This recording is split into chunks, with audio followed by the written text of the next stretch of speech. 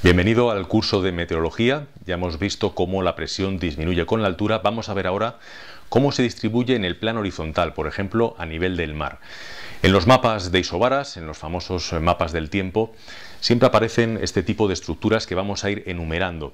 Las más conocidas, las zonas de alta presión o anticiclones y las zonas de baja presión o borrasca. Pero a veces se dan configuraciones eh, en las que aparecen dos anticiclones y dos borrascas y la zona eh, que queda en su interior, donde apenas hay variaciones de presión, es lo que se conoce como un collado.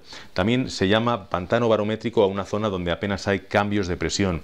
Hay zonas donde las bajas presiones se extienden en una determinada dirección, que es lo que se conoce como vaguadas, y en el caso de los anticiclones, cuando se extienden también hacia un determinado sitio, es lo que se conoce como una dorsal.